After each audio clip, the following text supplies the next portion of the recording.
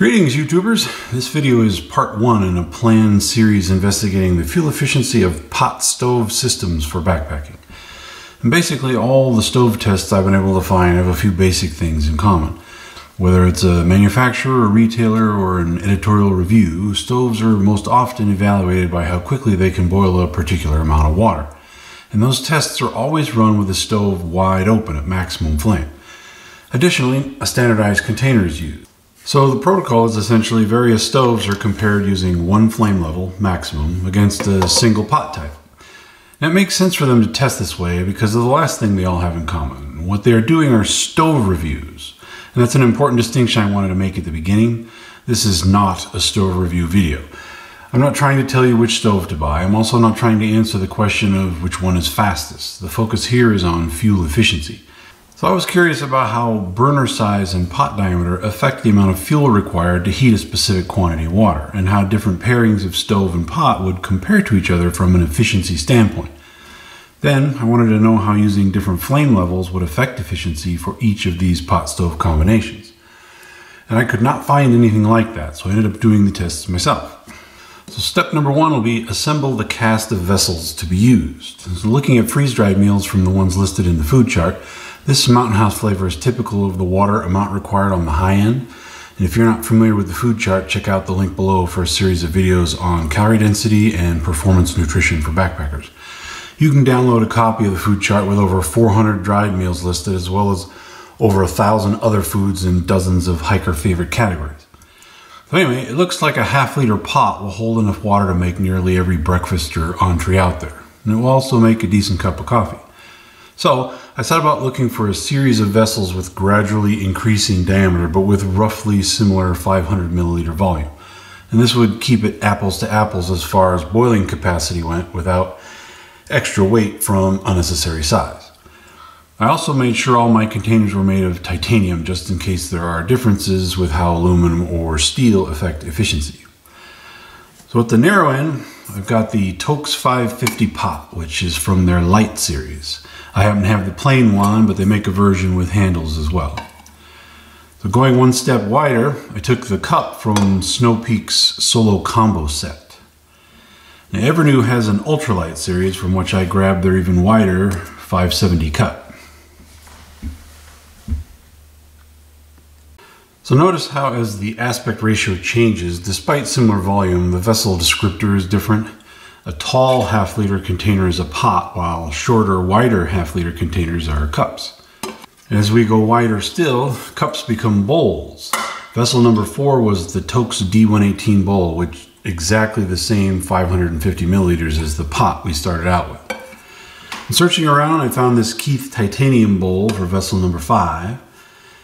And then when you've outgrown even bowls, the only thing left is a pan. I stole vessel number six from the Toaks 1600 milliliter pot with pan set.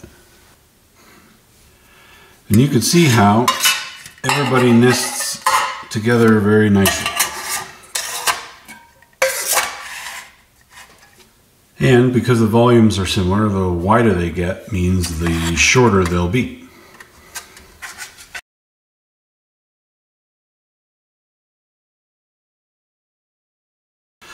For stoves, my primary interest was in the burner diameter. I wanted to know things like how a wide flame would perform on a narrow pot, or how a thin little torch would perform with containers of various widths.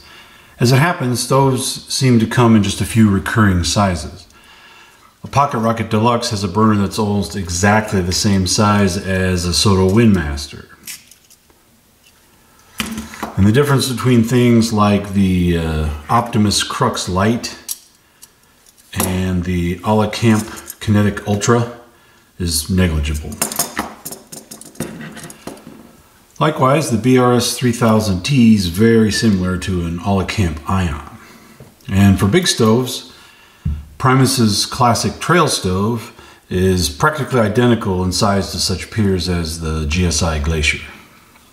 So that led me to adopt a small, medium, large format for stove selection. For the small burner, I chose the BRS 3000T, super popular with ultralighters. It is, to my knowledge, still the lightest canister stove you can buy. In the medium category, I went with the MSR Pocket Rocket Deluxe. Also very popular, it's a multiple award winner of excellent quality. And for the large one, I picked the Primus Classic Trail Stove. Now, the stove connoisseur could point out that uh, MSR's Pocket Rocket 2 doesn't fit neatly into this trichotomy. It's sort of a small plus size, if you will. And going back almost a quarter century, there's my Primus Alpine Titanium, complete with piezo igniter and a real wood control knob. It's basically the progenitor to all modern titanium stoves, and if you were an ultralighter back in the 20th century, this was the stove to have. I paid $129.95 for it at REI in 1999. In today's dollars, that would make this a $233 stove. They're long since discontinued, so this one's now a collectible. Still works like new, too. Okay, enough show and tell, back to business. In order to address the apples to oranges problem of comparing stoves, I had to solve the problem of differing outputs. Probably the biggest reason different stoves have different performance in the traditional full blast tests is not due to one design feature or another, but simply because they have different maximum flow rates. Not to be indelicate, but some stoves have bigger holes than others. And with the valve wide open, a big hole passes more gas than a small one. But remember, this is not a stove review. What I'm after is more of a principle how relative pot and burner diameters affect performance when used in different combinations, to see if size really does matter. Now, I can't just do something like open each stove a quarter of a turn and expect the gas flow to be constant between models. First of all, you can never make sure that the visual estimate of a quarter turn was precisely the same each time you turn the stove off and on again. But importantly, a quarter turn on one stove doesn't mean the same thing as a quarter turn on another. For my tests, I needed the high, medium, and low flames to be exactly the same flow rate across stoves with very different innards. So, after much deliberation, I came up with the following arrangement. Instead of mounting directly on top of the fuel canister the way you normally would, I put the stove to be tested on one of MSR's low-down remote stove adapters. It's not the remote part I care about, it's the extra on-off valve. With three of these, I can dial each one into a preset value for low, medium, high, label them for reference, and remove the wire handles so they can't get bumped or inadvertently changed. They're almost there, but I needed one more inline valve to make it all work. So I got that from the G-Works valved extension hose. This I would connect to the canister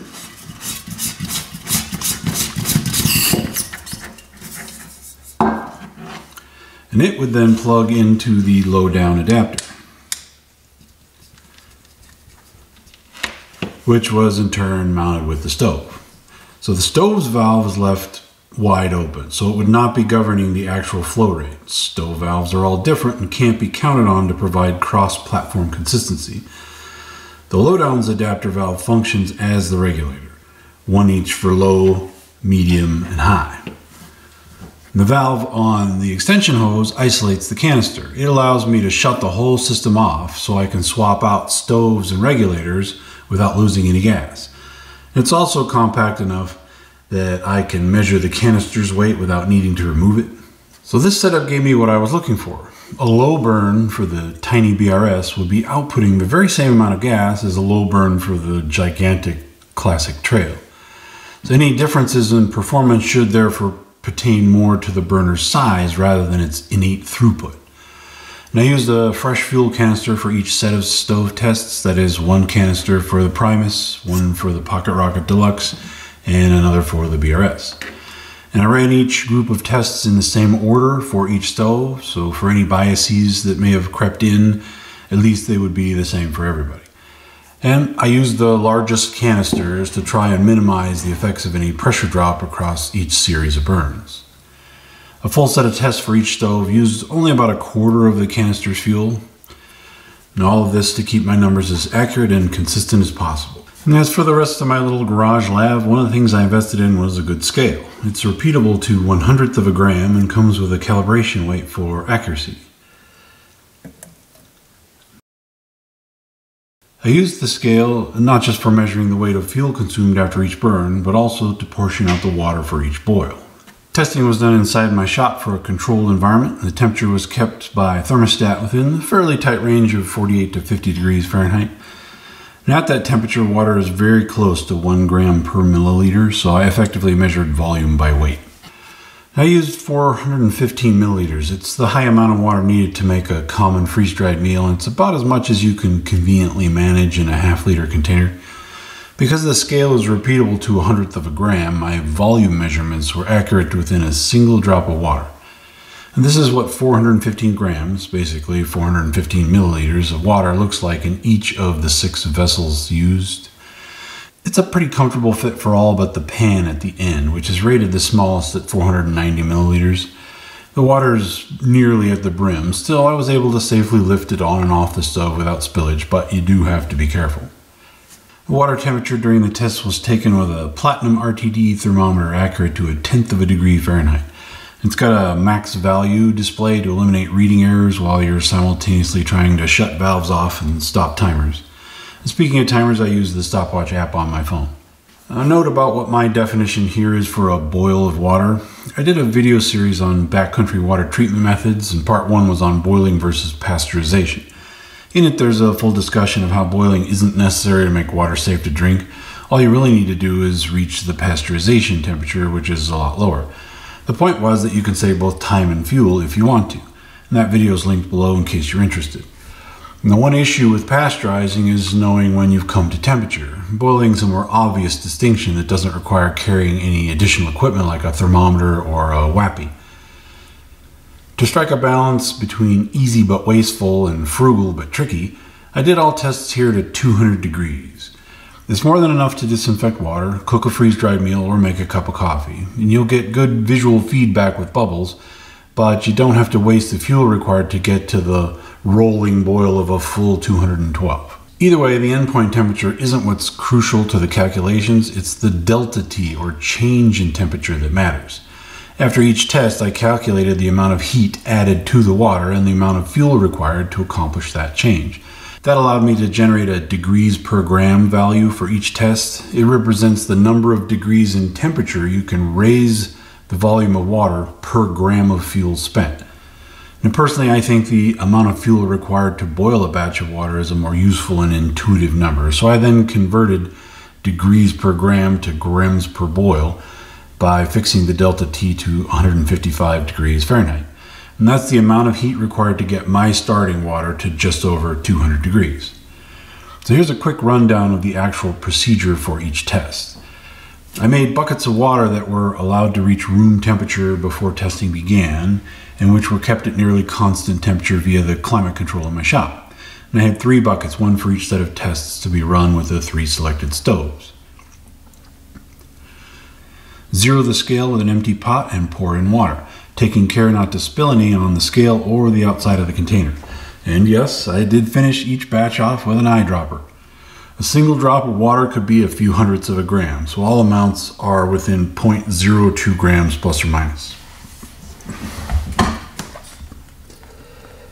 The filled pot was then visually centered on the stove, which was connected to the fuel canister through my proprietary multi-valve regulator system.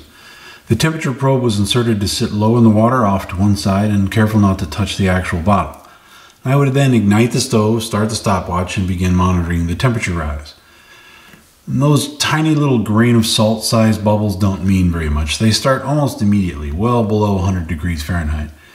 It isn't the start of a boil and it doesn't mean the water is safe to drink yet. Okay, as we continue to heat up, keep your eye on the grain sized bubbles in that middle circle of the pot. At 140 degrees, they still cover it pretty uniformly. Shortly before 150, they start to disappear, being replaced by the occasional launch of bigger bubbles. And by 160 degrees, they've all but disappeared, at least from that central circle area. And this is right around your pasteurization threshold. From 170 on, you can see a steady progression of increased bubble fervency.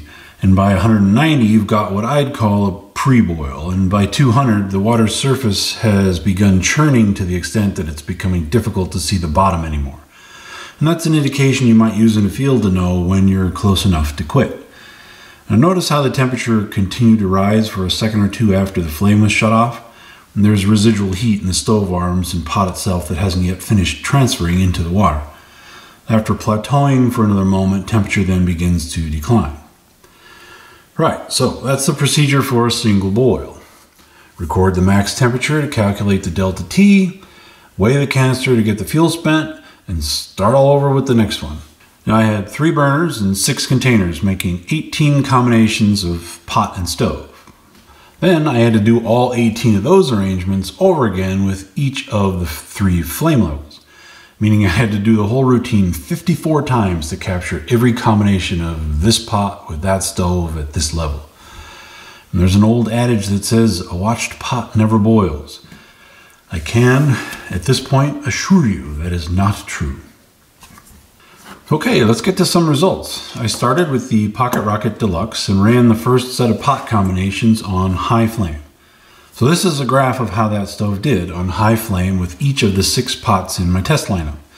And you can see that for the Toaks Light 550, which was the smallest diameter vessel, it took just over nine and a half grams of fuel to boil the 415 milliliters of water.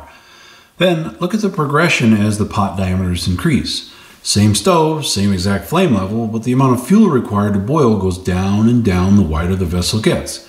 In other words, it's getting more efficient as you go.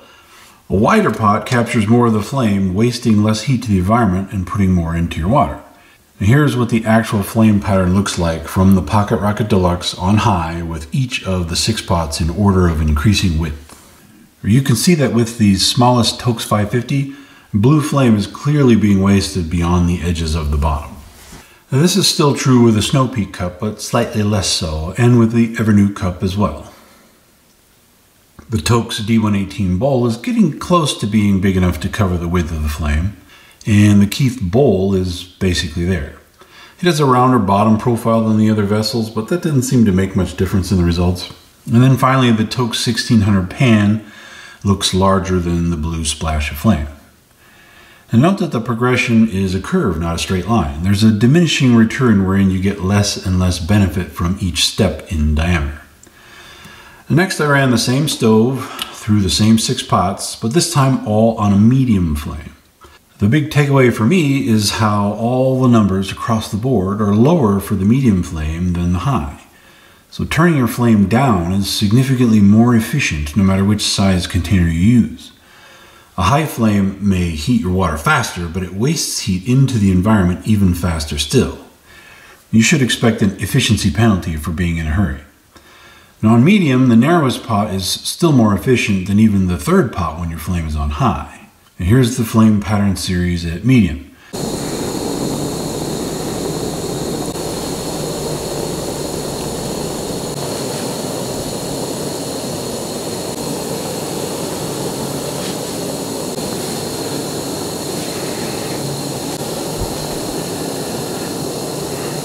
Once again, you see the progression of increasing efficiency with increasing diameter, but notice how the trend is somewhat flatter this time. Now to finish off with this stove, I ran the tests again, this time using a low flame. And the results were, I confess, a surprise. All the numbers are more efficient than a medium flame, as expected, but look how flat it is. Within a bit of variation, there's basically no trend at all. And think about what that means. With the flame turned down low, it no longer matters which container you use. This is post hoc analysis, but here are some thoughts. The flame we see is just that part of the soot trail hot enough to be illuminated. It's a visual demonstration of just how quickly it cools off and stops glowing. So with the stove on high, that flame splash easily exceeds the edges of a small container. But with the flame set low enough, most, if not all of that splash can be captured, even with the smaller pots. And this effectively eliminates the efficiency advantage of a wider container. And here's a look at the flame splash for each pot when set to low.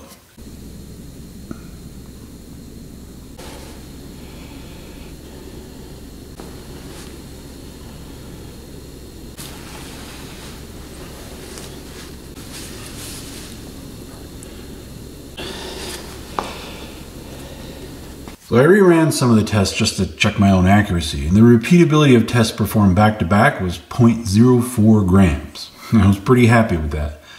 The comeback tomorrow repeatability ended up being 0.17 grams.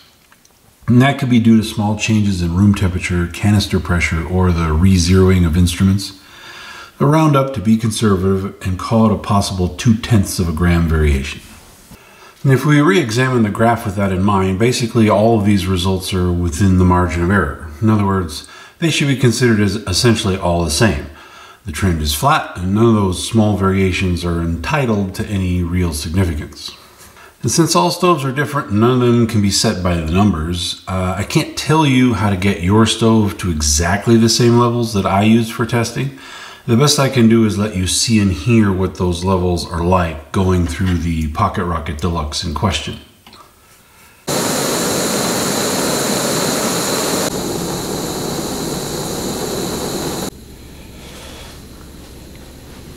The low isn't some ultra low simmer mode, there's still a good 4 inches of flame without a pot. But that rocket sound has all but subsided, and that's the reference I use to approximate a similar level in the field. The next step was to run all 18 tests, six pots at three different flame levels with a stove of a different size. The tiny BRS 3000T posted similar numbers with familiar patterns to those of the Pocket Rocket Deluxe.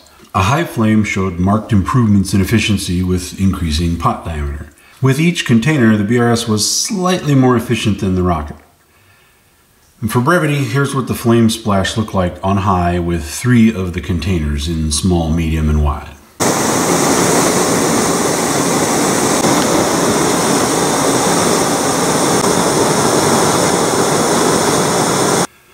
And for the BRS stove on medium flame, the pattern was again similar to the Rocket. The BRS was a little more efficient with the small pots and a little less so with the widest bowl and pan. And here's the flame splash on medium.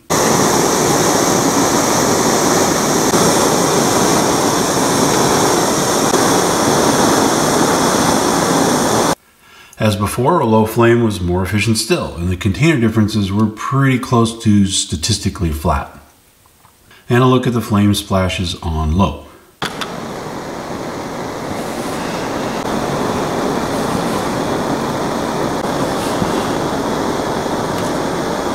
Again, for reference, this is the look and sound of the BRS 3000T at each of the three tested flame levels.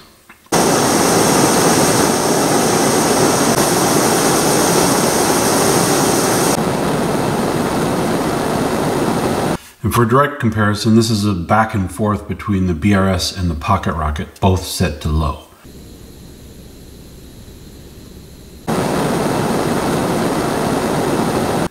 As you can hear, there's a noticeable difference in the sound between the two, even though the gas output is the same for each.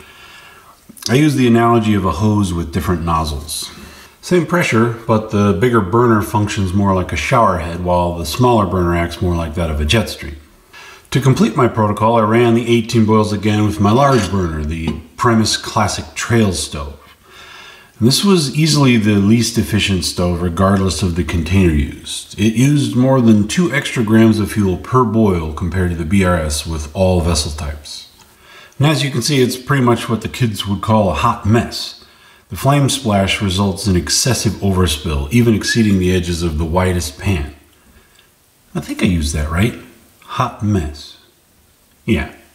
The Primus was also least efficient for all vessel types with a medium flame. In fact, for all but one container, the BRS was more efficient on high than the Primus was here on medium.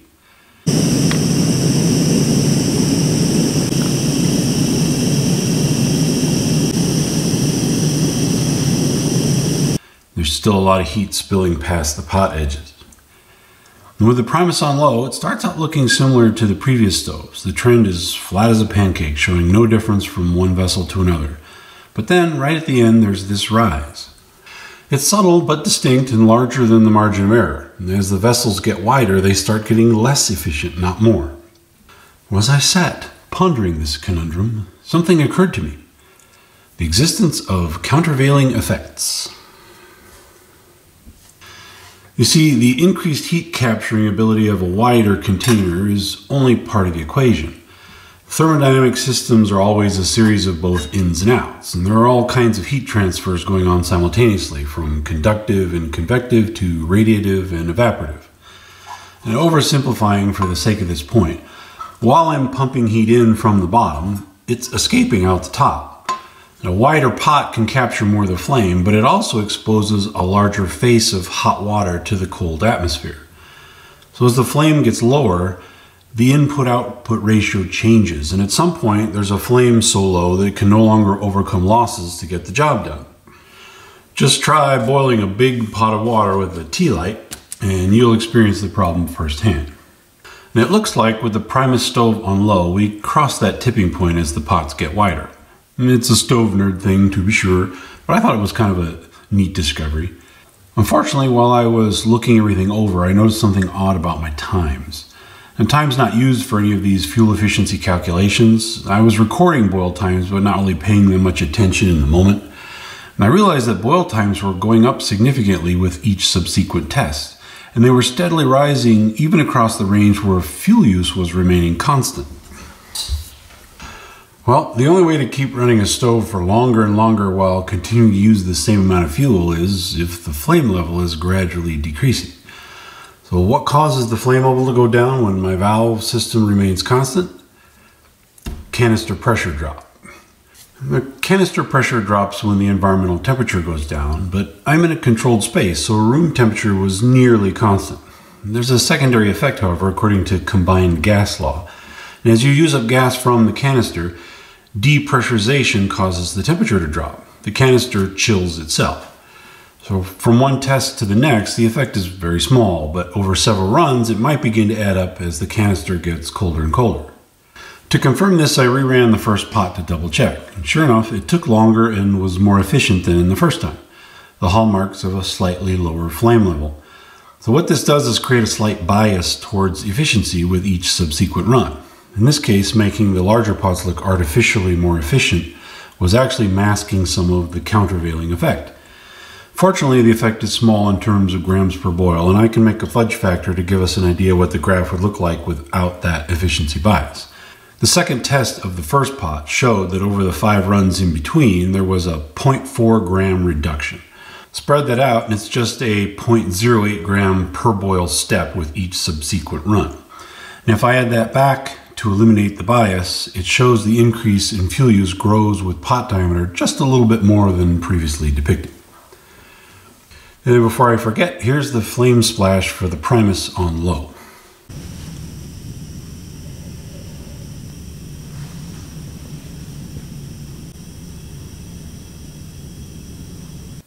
and the look and sound of high, medium, and low on the Primus Classic Trail Stove.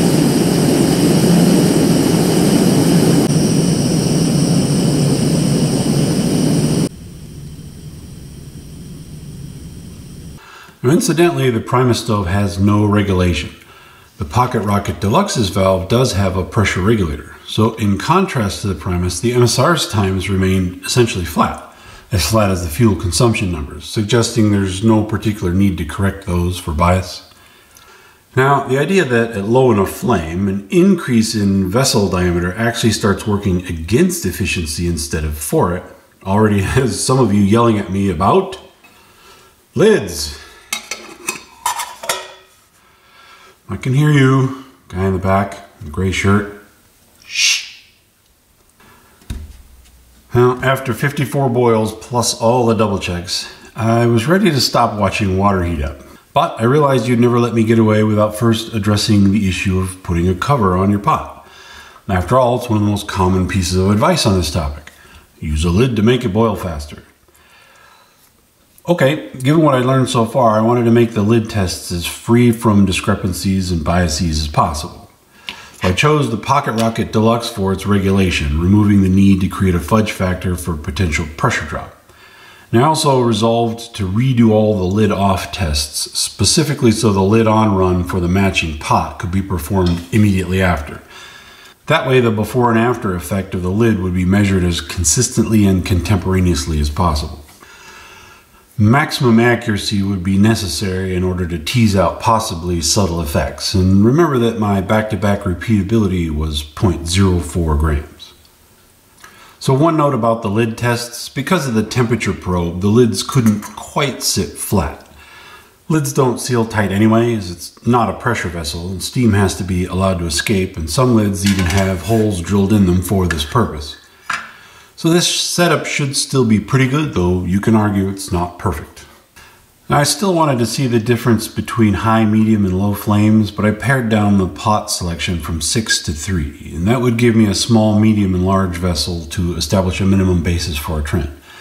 So this gave me 18 more boils to perform, lid on and lid off for three pots at three flame levels. So I started with the small pot. Incidentally, the vessels I chose were the three Toaks containers from the previous set. So we have the 550 pot, the D118 bowl, and the 1600 pan. And keeping the brand the same would help eliminate even tiny differences between shape, manufacturer, and lid fit. As a reminder, I'm not sponsored at all. I buy all my own gear. I don't get any kinds of free stuff or deals from anybody for anything. Toaks just has a good selection of sizes, which makes them ideal for this kind of incremental testing. So here are the results for the Toaks Light 550 pot. You've got lid off and lid on for high, medium, and low flame levels. The numbers are presented in grams of fuel required per boil. So some lid effect was evident in each case. With a high flame though, look how small it was. There was only a 0.11, basically just one tenth of a gram of fuel saved using a lid. A narrow pot limits the surface area of the water to limit cooling even with the lid off, and a high flame pumps heat in fast enough to outpace the effect of lost mechanisms. The end result with this particular combination of pot and flame is that a lid barely makes a difference. A lid is only slightly more efficient under a medium flame, saving you a scant 0.17 grams of fuel. From what we've seen so far with the effects of a low flame, we should expect that a lid might make the greatest difference there. Sure enough, the savings from a lid on low are 0.36 grams, more than triple that of high and double the medium. And for our medium-sized vessel, the Toaks D118 bowl, our developing theoretical construct for pot flame performance predicts that lid savings should be larger than seen with the narrower container. More hot water surface area to lose heat from means more potential benefit from using a lid. So the gold standard for the verification of a theory is the measure of its predictive power. The medium vessel does indeed show larger lid effects for all three flame levels. And the benefit on a low burn is now at 0.5 grams of fuel saved. And for the widest pan come the largest savings, up to 0.62 grams per boil when using a lid over a low flame. Because I'm a visual person, I like to see everything in a graph. So this is a chart of the lid effect, in other words, the fuel consumption difference between lid off and lid on for all three containers at all three flame levels. And you can see how, as we go from the narrow pot to the intermediate bowl to the widest pan, the fuel savings from using a lid get larger and larger. So as far as the lids themselves, only the two smallest containers included their own cover. The Toaks Light 550 comes with a matching titanium lid. And the Snow Peak's lid was part of the two pot set it came in and was the only one with a silicone tab for lifting. All the others have uh, metal D-ring style lifters. For the 570 cup, Evernew does make a matching lid. You'll just have to order it separately. And it's the only lid that goes over the top and around the outside of the rim. All the others have more of an inset type of fit. The Evernew cup was also the only container to have silicone on the handles, and they were doing just fine on all the tests until the ginormous Primus burner and its absurd flame spill on high, and that ended up vulcanizing the rubber to the point of crumbling. So Toaks does make lids for all their pots, but they consider the D118 to be a bowl. Well, fortunately, it's close enough in size to the 1100 milliliter pot that I could steal that lid for these tests. It sits on pretty well, and if you press the edges down, it becomes quite secure. And Keith does not make a lid for their bowl, at least not that I could find, so I found a couple of options on Amazon. The Finesse City lid happens to fit like they were made for each other. It is titanium, but it's kind of thick and that makes it a bit heavy for its class. So I hunted down this universal titanium lid, choosing the 130 millimeter option. It also fits well and is substantially lighter. These universal lids appear to be in every respect identical to the Toaks lids, and I suspect the manufacturer is selling them on Amazon here unbranded. And then lastly, the Toaks pan is itself considered a lid for the 1600 milliliter pot with pan combo. That pot's also for sale for the regular style lid, and rather than buy another pot just for that lid, I found that Amazon also does carry the Toaks brand. In this case, get the 145 milliliter size. It does sit flat and won't fall in, but it rides a bit low. So with this pan filled nearly to the brim with water, the lid will touch the liquid when dropped into place. It's stable during a boil though, and in general works fine as a normal lid would. Okay, the gram counters have been waiting patiently for this part. Here are the vessel weights from narrowest to widest. Now, generally speaking, a square or one-to-one -one ratio of height to width will be the most volumetrically efficient. The wider and flatter you go, the more material you'll need to hold the same amount of water, making the pan shape inherently heavier than the pot. And this out of place bump here for the snow peak has everything to do with the thickness of the wall. So both of these are made from 0.3 millimeter titanium, while the Snow Peak is a much sturdier 0.5 millimeters, and that's 167% the thickness of its neighbors on the graph. Here are all the lid weights shown next to the vessels and in the same scale. And just so you don't have to do the math, here are the total weights of vessels plus lids. And because visualization puts everything in perspective, this is how the three stoves used compared in weight to the vessel lid systems. And you can see how the BRS 3000 is less than half the weight of the lightest pot lid combo, while the Primus is something of a boat anchor. Okay, we're at that part of the video where some people are asking, so which pot and stove should I use? Well, my answer, as always, is it depends. What's your priority? There are more than these two, but the ones I'll focus on are fuel efficiency versus weight efficiency. Simply put, fuel efficiency prioritizes fuel savings over weight, and that means you want to carry the system that will burn the least fuel, even if it's not the lightest possible option. Maybe you've got a long stretch without resupply and you need to make sure you won't run out of gas before you're through, or you're building an emergency kit with room for only so many canisters and you want to get the most out of them before they're gone. Of all the variations I tested, the single most efficient combination was the widest pan on low flame with the lid on. And that will let you cook your water for just five and a quarter grams of fuel. It's the most fuel efficient choice, even though it's the heaviest container in the group. For a fuel efficiency priority, that's your simple answer. Pan, low flame, lid. Now if weight efficiency is your priority, that's a little bit more complicated. For starters, use a low flame. It saves fuel, which saves weight without any extra equipment required. Other than with respect to time, this is basically a free boost. Next, look at the difference between our pan with low end lid on and the bowl with low end lid on. It's only 5 hundredths of a gram of fuel. That's barely more than my repeatability error of 0.04. But let's assume it's a genuine efficiency differential. At five and a quarter per, you get about 20 boils from one of the small gas canisters, which contain 110 grams of fuel. Well, 20 boils at 5.24 grams each equals 104.8 grams total. And at 5.29 each, it comes out to 105.8. And that means over the life of this entire canister, switching from the pan to the bowl will cost you one gram extra in fuel consumption. Now, a gram of gas is a gram of gas, but the containers don't weigh the same. The Toaks bowl lid combination weighs over 27 grams less than the pan lid system. So clearly the D118 presents a more weight efficient option, even though technically its fuel efficiency is slightly worse. You spend one gram to save 27. Right, so how about for the ultralight pot? With low flame, it takes just over five and a half grams. That's a third of a gram of fuel difference between the two containers per boil with lids on. Remember that 20 boils with the pan used a total of 104.8 grams of fuel. 20 boils with the pot will burn 111.4. That means switching from pan to pot will cost you an extra 6.6 grams in fuel weight. As before though, we have to factor in the weight savings of switching to a lighter, albeit less fuel efficient container.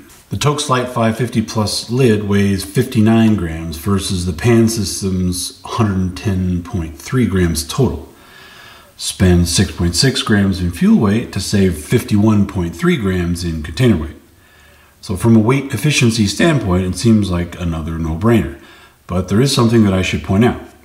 That 6.6 grams you'll waste switching to the lighter pot is more than the fuel required for one boil. For the pan, 5.24 per will get you essentially 21 boils out of a 110 gram canister. For the pot, you'll only get 19 full boils. If you go for 20, it will sputter out before you're able to reach temperature. So even though the fuel waste is only 6.6 grams, it crosses a threshold that might also cost you a hot dinner on the final night of your trip. But unless you're literally running the canister dry before resupply, that won't matter. Most of the time, you're coming home with some fuel still in the tank. Lastly, let's ask the question, is a lid worth the weight? Remember, this is a weight efficiency question, not a fuel efficiency one. A lid does indeed save fuel no matter which combination of vessel and flame level you choose. The question is, does the weight of fuel saved make up for the weight of the lid itself? The pot is more weight efficient than either the bowl or the pan, and the weight efficiency of a lid will only get worse the wider you go. So let's look at the best case scenario of the Toaks Light 550. From the fuel consumption difference chart, with low flame, the lid that comes with the pot saved 0.36 grams of fuel weight per boil. With the lid off, you can get 18 full boils out of a small canister, using a total of 106.56 grams of fuel. I put the lid on and those same 18 boils will use 100.26 grams of fuel, a weight savings of 6.3 grams. Again, note that this fuel savings is more than the amount for one boil. So using a lid will let you get 19 full boils out of a canister instead of just 18. And that's an advantage with value. But strictly in terms of weight, does a lid justify itself based on these savings? The titanium lid that comes with the Toaks pot weighs 16.8 grams. So it actually weighs more than what it saves. The guy in the gray shirt's yelling again. Fair enough, you can get lighter lids. The lightest commercial offering I've ever seen is this little carbon fiber gem from Ruta Right now it doesn't seem to be available as their only product listing is for trekking poles. I got mine years ago and it weighs in at just about 9 grams. That's almost half the weight of the titanium one, but it's still more than the fuel savings of having your pot covered. Quick and dirty, I cut out a double layer circle of heavy duty aluminum foil, or if you're on the metric system, that's aluminium. It's extremely fragile, but it should trap heat, and I did get the weight down to a gram and a quarter. I don't personally consider this to be a practical replacement for a proper lid. I just did it for you know who. Okay, I think that makes it summary time. In principle, a wider vessel will catch more of the heat from your stove than a narrower one, which may waste heat if the flame splash exceeds the vessel's edges. This was demonstrated with a Pocket Rocket Deluxe stove against six vessels of similar volume but increasing diameter, and the flame on high.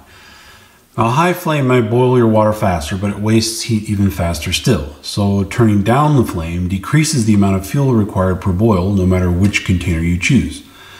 The trend gets flatter though. On high flame, pot diameter makes a significant difference. On medium, that difference becomes less. And on low flame, the trend is essentially flat. It no longer matters which diameter pot you use. They're all about equally fuel efficient. That's with the lid off. The lower the flame, the more a container system benefits from the use of a lid. And a wider vessel loses heat out the top faster than a narrow one, so pans benefit from a lid more than bowls or pots. This means the single most fuel efficient option tested is the widest vessel on low flame with a lid. But fuel efficiency is not the same as weight efficiency, and the most frugal container happens to also be the heaviest. So as it turns out, the fuel savings of a wider vessel aren't justified by that container's increased weight. So the lightest way to go is actually waste a little fuel by using the smallest container. And this extends even to the use of a lid, which saves a bit of fuel but costs you more in grams to carry. So as far as the three stoves tested, the large burner Primus was least fuel efficient no matter how you use it. But between the medium and small burner stoves, given the margins for error, there's effectively no efficiency difference. So from a weight standpoint, just use the lightest one. That leaves us with these two best options for kits. For maximum fuel efficiency, use the small stove on low flame with the widest vessel and lid. As noted previously though, the medium container bowl has the exact same low flame fuel efficiency and is light in the pan. For minimum weight, use the small stove on low flame with the smallest vessel and surprisingly no lid. Or if you can manage something lighter than the 6.3 grams in fuel savings, a DIY lid of some sort. That's it for this edition of Watching Water Boil with Gear Skeptic. There's a bunch more things I'd like to play with in this series. I'm curious about the efficiency of other types of containers to include not just shapes like kettles and canteens, but also materials like the differences between titanium, aluminum, and steel. In particular, I'd like to investigate how wind affects all of this. It's possible that a strong enough breeze could blow away the efficiency gains of a low stove setting, making a stronger flame the better choice in blustery conditions. Air movement might also change the dynamics of using a wider pot and the net value of a lid. Wind might also mean switching stoves, as some have burners that are more protected than others. Stuff for future exploration. So one caution when trying to compare these results with other tests, everybody's numbers will vary based on the differences in their test conditions. If the room or the water is a different starting temperature, or if they use a full rolling boil instead of my 200 degrees, or they test outside in moving air, any of these changes will produce different results. So when I say that you can get 18 boils per canister, that is only under my exact testing conditions. Your mileage will most definitely vary. The point here was just to set controlled conditions so alterations in things like pot size and flame level could be tested against each other, apples to apples. The hope being that we could begin to get some insight into how the characteristics of stovetop systems affect their relative efficiencies. And then lastly, it's fair to argue that there's more to cook kits than just water boiling. If you're a camp chef, you might need a stove with good simmering capabilities, or prefer a pan for the ability to fry food and make pancakes. Use this data to inform your own decisions for whatever system best meets your needs. As always, I very much appreciate your time and thanks for watching.